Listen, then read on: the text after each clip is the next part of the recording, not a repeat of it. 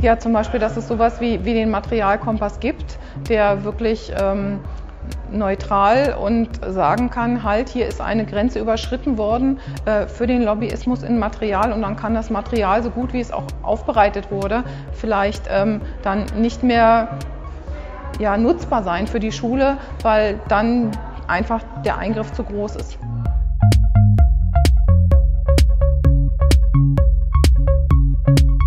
Dazu kann man sagen, dass ich im letzten ähm, Jahr mit Frau Busse vom VZBV zusammen in, einem, äh, in einer Lehrveranstaltung ähm, nach den